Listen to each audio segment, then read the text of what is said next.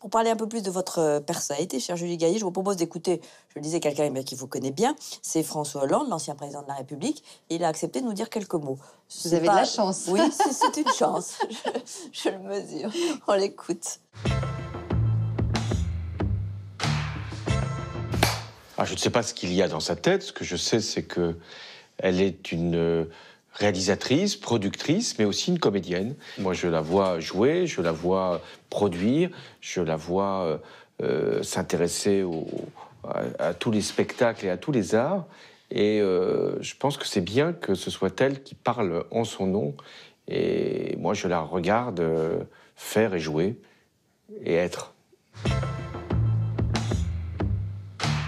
Elle voulait, euh, euh, je l'ai parfaitement compris, après 20 ans d'absence au théâtre, euh, revenir sur la scène, non pas sur la scène médiatique, je pense qu'elle l'a été suffisamment, mais sur la scène théâtrale, parce que c'est sa passion et aussi parce que c'était son défi.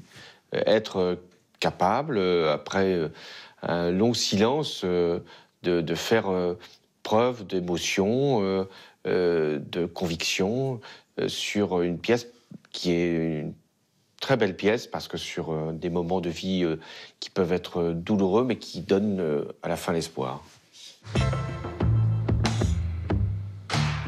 C'est pas à moi de dire ce qu'elle a à faire là. Je pense qu'elle est seule, elle est mieux qu'en duo.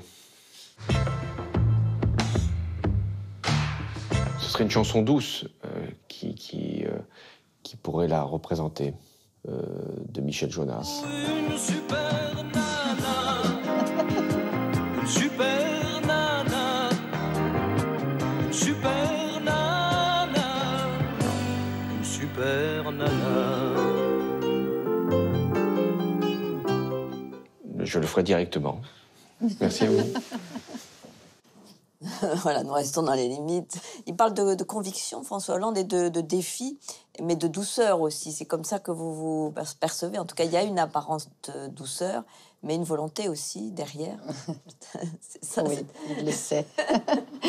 mais euh, et à accepter parce que le théâtre c'est tous les soirs. Enfin, vous le savez puisque vous êtes sur scène, donc c'est contraignant et c'est euh, et euh, mais c'est sa grande qualité de laisser de me laisser, euh, de laisser briller, d'être. Euh, non, je suis très touchée parce que je, moi j'ai, il y a eu cette vidéo où je parlais de lui et, je déteste parler des autres et je vois bien qu'il est, il est comme ça aussi, cette pudeur que j'aime, cette. Euh, vous avez beaucoup de chance.